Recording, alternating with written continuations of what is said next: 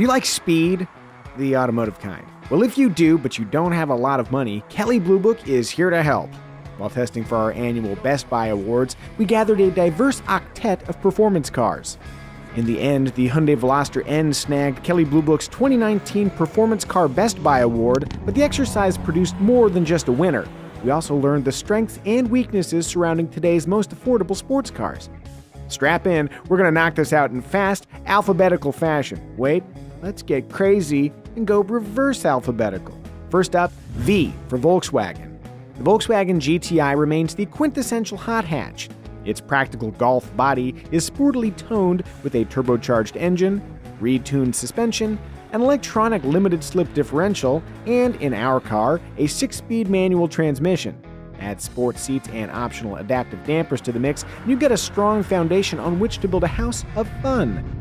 On public roads, our GTI's all season tires and comparatively soft suspension resulted in duller responses to driver inputs than, let's say, the Honda Civic Type R.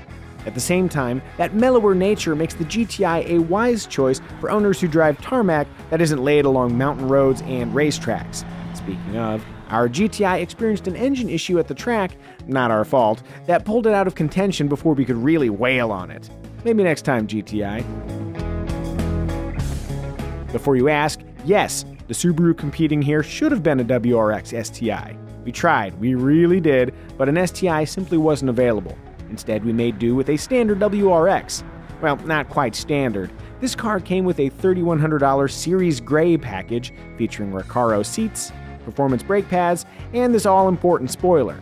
With its 268 horsepower turbocharged four cylinder and all wheel drive, the 2019 WRX has ample power and no issue putting it to good use. However, when turning or braking, the Subi struggled. We noticed more lean in corners and dive when braking than the rest of the pack. That sloppiness sapped our confidence when trying to hustle at top speed. But if we ever create a Best Gravel Stage Performance Car Award, and who knows, we just might, the Subaru WRX will probably top the list. Better yet, make it an STI. Ah, the Mazda MX5 Miata. When I say sports car, this little guy may have come to mind. Beyond slick styling and easy access to wind and sun, the MX5's prime appeal is how it steers. Balanced, grippy, the Miata responds gleefully to steering and throttle inputs. It has this wonderful behavior where, when cornering quickly, adding throttle assertively can help tighten your line. To be clear, I'm not talking about a full on drift, just a helpful tuck of the nose. Even with a bump in power for 2019, Mazda's Roadster lacks accelerative punch. But pure power has never really been the point now, has it? The Miata has always been cozy, impractical, and slow in straight lines, but its joy centric handling and open air charm trigger bliss more effectively than damn near anything on wheels. All those traits are retained and amplified in the fourth generation Miata. If you want to see us heap praise on the Hyundai Veloster N, we've already produced an expertly hosted video review and a charmingly voiced comparison test between it and the Honda Civic Type R. I promise there's less self congratulation on my part in both those videos. Anyway, we'll keep this quick. The front wheel drive Veloster N is a riot on the track. Its asymmetrical body and hatch are just practical enough for daily driving. It looks aggressive, but not too aggressive, and its driving behavior can easily be adjusted from racetrack raucous to real world workable. That might be too many R's for a single sentence. What about the downsides? Well, at the moment, the Veloster N is only offered with the 6 speed manual transmission, making it a no go if you can't row your own gears. We've also noticed that in the sportiest N mode, ride quality is laughably harsh. Luckily, Hyundai makes it easy to customize suspension settings. If we were buying, we'd definitely spring for the $2,100 performance package, which adds an electronically controlled limited slip differential, larger brakes and tires, and increases horsepower from 250 to 275. When measuring performance per dollar, the Hyundai Veloster N is an outrageous value, enhanced by Hyundai's 10 year, 100,000 mile powertrain warranty. Oh, and it sounds like this. Neat, huh? Another way to lay down sweet lap times is the Honda Civic Type R. Like the Veloster N, the Type R puts its superior output to the ground through the front tires. Built from the intensively pragmatic platform of a Honda Civic hatchback, the 4 seat Type R provides hatchback usability, strong resale values, and the promise of renowned Honda reliability. To that pile, the Type R adds a full wardrobe of go fast additions three mode dampers, a limited slip differential, four piston Brembo front brake calipers, and clingy Continental summer tires. We, we mean clingy in the good way. Driven assertively, the Honda Civic Type R is a powerful tool. The engine thrives at lofty revs, steering inputs are met with precise amendments to trajectory, and the chassis is tuned to be both playful and wickedly capable. And this is where we cue the Type R drifting shot from our review for like the 56th time. That's fun. Where negatives are concerned, the Type R might be too serious for daily use and perhaps a touch intimidating for novice track drivers.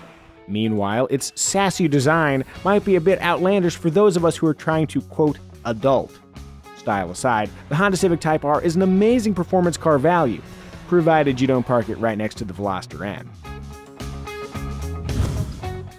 This Ford Mustang greeted us packing a 2.3 liter four cylinder engine, a $1,600 10 speed automatic transmission, optional MagneRide dampers, a 355 to 1 limited slip differential, and 19 inch summer tires. In total, a compelling package. Sure, driving an automatic at the track might seem sacrilegious, but when the left foot clutch dance is removed from the equation, the driver can really focus on that whole braking and steering thing. In a closed course environment, the Mustang proved to be quick, approachable, and drama free. Applied to the streets, those traits create a performance car that feels fun and refined. You're right, the back seats are cramped, and a Mustang does sound best with a V8 under its hood. But for balanced, livable performance, this is a well trained pony. If you've seen our Battle of the American Sports Cars video, you will recall that I, the disembodied voice of Kelley Blue Book's Micah Muzio, shared a unique bond with this Dodge Challenger RT. Within the closed confines of this racetrack, I discovered that when equipped with a 5.7 liter Hemi V8, a 6 speed manual transmission, and a $1,500 performance handling package, the Challenger is a charmingly driftable plaything. Is this how you lap quickly? No. Do I care? No. If you forget bragging rights and just focus on fun, there are delights to be discovered flinging around a big old Challenger. Take those traits home with you, and you'll enjoy a comfortable ride, neoclassical good looks, and seating for five, though it'll be a cozy five. Fun comes in many shapes, and this is one of my favorites. And finally, we end at C for Chevrolet Camaro. Orange, black hood, 3LT trim with the 1LE track performance package, 20 inch wheels, Brembo brakes, FE3 performance suspension. Uh, I- I'm just naming things, aren't I? I'll stop that and get to the gist. Our test Camaro was a tasty shot of American adrenaline. Primary complaints are what you'd expect awful outward visibility and a cramped interior. But in motion, our Camaro felt balanced and planted on both street and track. Aiding that balanced feeling was an unexpectedly satisfying 2 liter turbocharged engine that's lighter than the base V6 but delivers more torque. In the right environment, the Camaro's expertly engineered chassis delivers serious speed and confident handling. You know, naming the best sports car is like naming the best food. It really depends on what you're in the mood for. Where Kelley Blue Book's performance car Best Buy honors were concerned, we chose Korean barbecue. Man, I love Korean barbecue.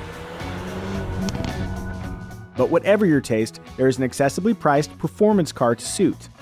If, before committing to one of those performance cars, you'd like help digging through the pricing and car research details, Kelley Blue Book is happy to help.